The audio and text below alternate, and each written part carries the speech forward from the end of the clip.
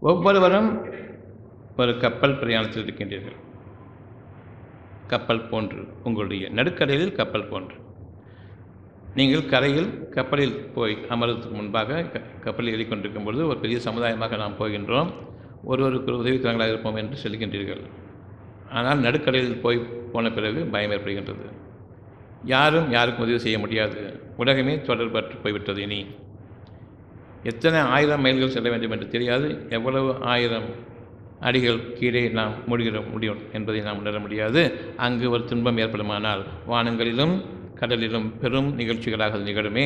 அந்த நிகழ்வு ஏற்பட்டு உங்களுடைய கப்பல் அடைக்கடிக்கப்படும் பொழுது அடைக்கடிக்கப்படும் பொழுது என்ற இந்த வார்த்தை உங்களுடைய வாழ்க்கையில் நீங்கள் அடிக்கடி உபயோகப்படுத்துவீர்கள். மனசு அளப்பாயுது என் மனசு அடைக்கடிக்காதே. சத்தியமாக எனக்கு ஒன்று தேவை. நடக்காது என்று அடைக்கடிக்காதே. உங்களுடைய பயணம் ஒரு கப்பல் பயணம். நீங்கள் கரையேறவில்லை.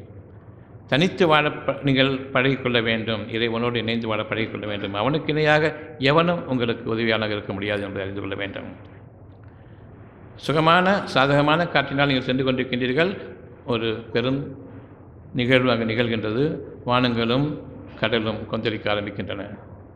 புயல் காற்று நாலாப்புறங்களில் வீசி கப்பல் மூழ்கிடுமோ என்ற நிலை யாரும் ஒருவர் மற்றும் பேச மாட்டார்கள். அந்த நாள் அங்கு நிகழும். உள்ளுக்குள் அடங்கிவிடுவார்கள். சத்தம் போட முடியாது. கதையில் சத்தம் போடுவார்கள். வாழ்வதற்கு ஒரு துன்பம் ஏற்படும் பொழுது ஐயோ காப்பாற்று காப்பாற்று என்று கற்று சத்தம் போடுவார்கள். ஆனால் கப்பலில் நிகழும் பொழுது சத்தம் இருக்காது அடங்கிவிடும். அவர்கள் உயிர் பிரிவதற்கு முன்பாக அடங்கிவிடும். யாரும் உதவிக்கு இல்லை என்பது தெரியும். எனவே சத்தமிட்டு பயனில்லை. கூக்குரலிட்டு பயனில்லை.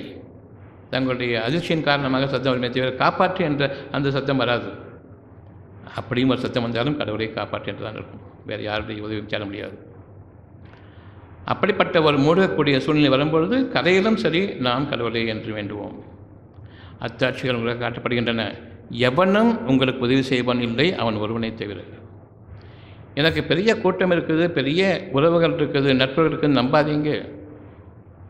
அவர்களும் அந்த கப்பலில் ஏறியவர்கள் தான் கூட்டாக நீங்கள் சென்று கொண்டிருக்கின்றீர்கள். அந்த கப்பல் நடுக்கடலில் ஆபத்துக்குள் உள்ளாகும் பொழுது ஒவ்வொருவரும் தனித்துடப்படுவான் இப்பொழுது உங்களுடைய பிரார்த்தனை எப்படி இருக்கும்?